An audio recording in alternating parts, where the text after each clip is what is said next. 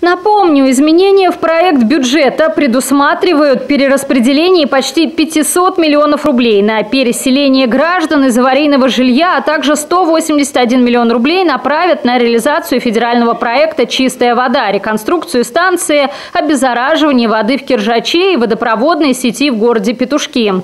А благодаря выделению из федерального бюджета более 800 миллионов рублей на строительство Рпенского проезда, такая же сумма высвобождается в региональном бюджете области. Часть денег законопроектом предлагается направить на ремонт муниципальных дорог, а депутаты предложили направить на эти цели еще 300 миллионов рублей дополнительно. К сожалению, этой весной картина с э, местными дорогами удручает.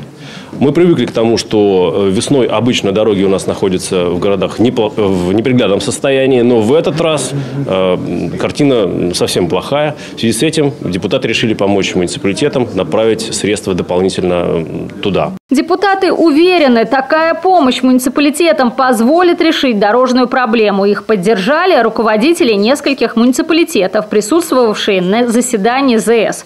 В частности, глава Гусь Хрустального Алексей Соколов в обращении к парламентариям отметил, финансовая помощь из столицы региона позволит решить в городе проблемы, возникшие за предыдущие два года, когда субсидий хватало лишь на ямочный ремонт. Естественно, жители городов и жители районов а, ждут эти средства, ждут, чтобы как можно быстрее мы завершили все конкурсные процедуры, а, чтобы определили подрядчиков и проводили ремонт уже сейчас, весной, ну и, соответственно, в начале лета. Ни, коим, ни, ни в коем случае нельзя оставлять это на осень. Кроме выделения средств на дороге, законопроект предусматривает выделение 24 миллионов рублей на создание новых точек притяжения туристов в муниципалитетах и 15 миллионов туристическому информационному центру.